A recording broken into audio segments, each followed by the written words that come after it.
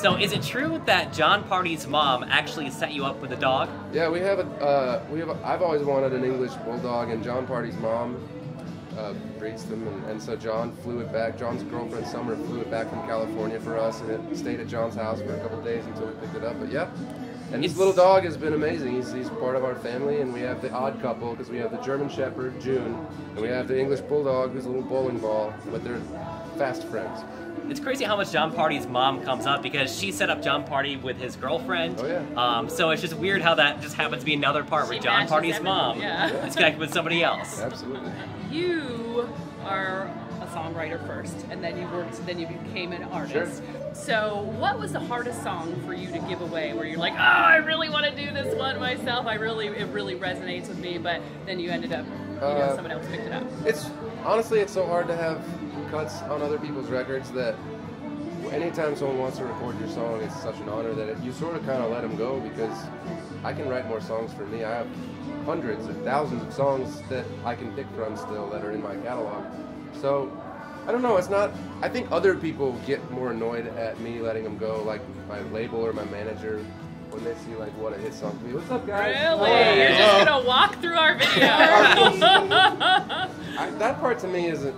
I don't know. I love writing songs for other people, so I've never been too precious with it. yeah, so you're not like But, I, jealous. but other people kind of. Other people have been like, "Why didn't you hang on to that one?" That was re- amazing We song." could have really used that. I'm like, yeah, but I'd rather have like you'd be mad at me than Luke Bryan or somebody. So, Yeah. Uh, but yeah, I've really been blessed to have a lot of songs on other people's records. and it's Yeah, been a cool like hits. talking point for like my own project too. right. All right, so I've been stalking your Twitter a little bit, Sure. and I see that you're obsessed with Game of Thrones. Yeah, I was really into it. Okay, I'm only on season uh, two, episode one, so, So don't all give anything away. spoilers. I'm jealous. So scene for scene, what do you think of the final episode? I'm jealous. Uh, ending the show is it's like landing a plane. Nobody's ever thrilled when you do it right, but when you bump a little bit, it, it uh, everybody everybody hears about it. So uh, it was a great show. and Still worth Probably my. I think it was.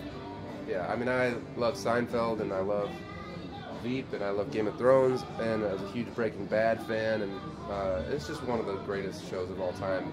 Even if people are mad at how it ended. Really? Now, do you ever find inspiration for songs in, in shows, or is it more real life? Where do you find your most inspiration? Uh, I pulled lines from like TV shows that I think are really compelling, and I've tried to write those before. But I've had hard. I don't think I've ever had anything really hit like pop off of that sort of inspiration. But like it's happened before. Like the song "Sure Be Cool If You Did" Mhm. was a movie line, wow. and uh, I mean, I, yeah, I, I just think that like so much like inspiration can come from just great writing in general, and, and something like being timed perfectly, and uh, so yeah, it's really nice to see the way that other people like communicate their emotional truth. I was about to ask that. So, like, it sure be cool if you did uh, Blake Shelton, right? Yeah. Um, so, have you ever been like you gave you know there somebody's cutting a song for you? You're like, wow, I wouldn't have thought of that interpretation of, of how to do it. Has anybody really shocked you with their interpretation? all the time. Yeah. I mean, I,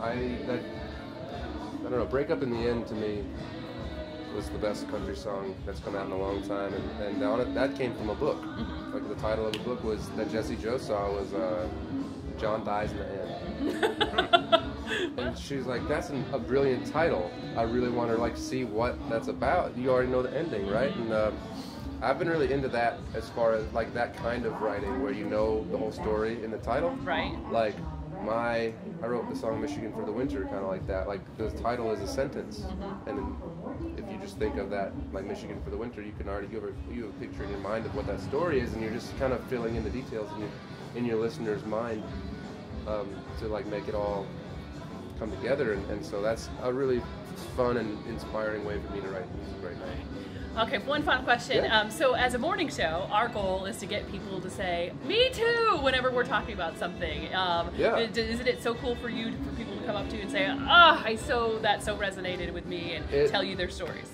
It is. I put. I mean, I. I think everybody wants to have hit songs, and you want to have platinum records and gold records, and, and that's really. That's a great thing. But when somebody comes up and says, "I use your song in my wedding," Oh, like that to me is way cooler because, like, we're stuck forever together at that point. You know what I mean? We're It's in like, this together. Don't get divorced. You wrote a song that like affected people's actual lives. Like they listened to that song and they felt so strongly about it that they said, "No, I'm gonna, we're gonna stamp our, you know, our future together with this piece of music." And so Yeah, that, that must be amazing. so yeah, that stuff is always. That's the reason that, you know, that. That's what makes you keep doing it. It makes you want to write something great every day, not just something that's a hit, but something great. So I'm, you know, that that part that part makes it special. All right, Ryan Hurd, thanks so much for talking to us. Thank you, guys.